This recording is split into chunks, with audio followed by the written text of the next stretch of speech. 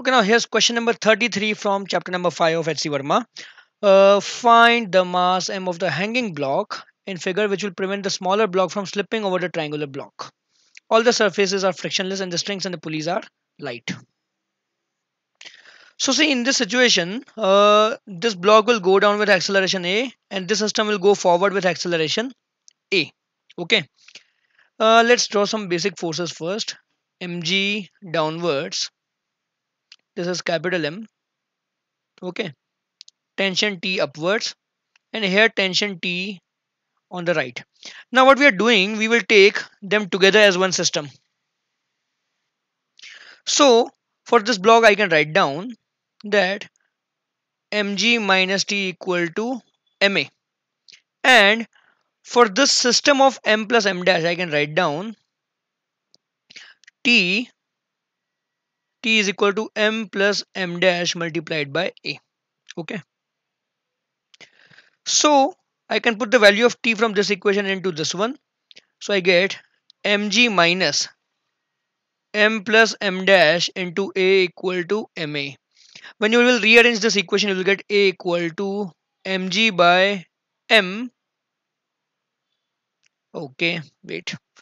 Just a bit typing error over here small m plus capital M dash. So m plus small m plus capital M dash. Okay, this is the acceleration of the system.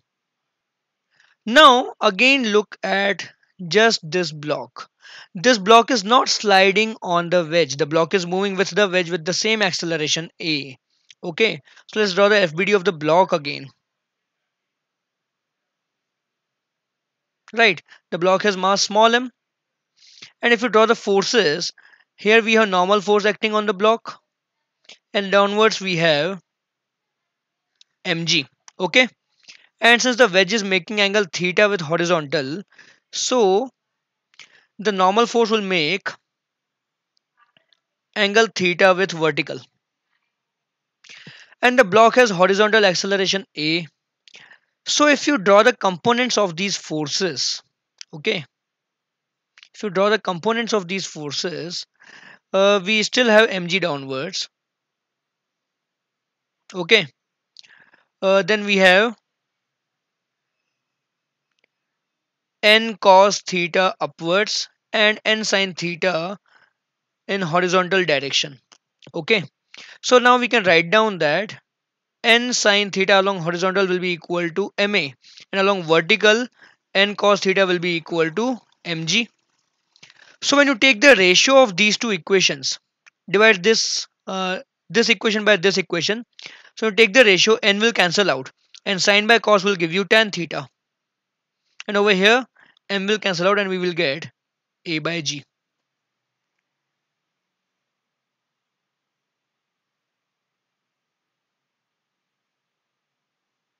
So that's it now just put the value of uh, a over here. So a is capital mg by m plus m plus m dash. So this is equal to capital mg by m plus m plus m dash. Okay. So g will cancel out.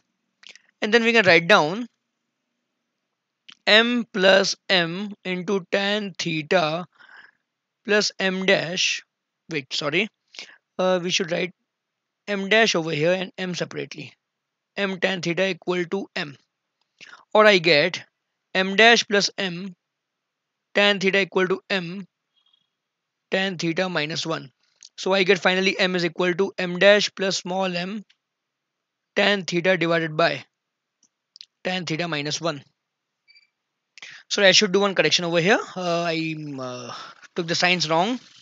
So here I have 1 minus tan theta. So I'll get 1 minus tan theta. Okay. So this is the final answer.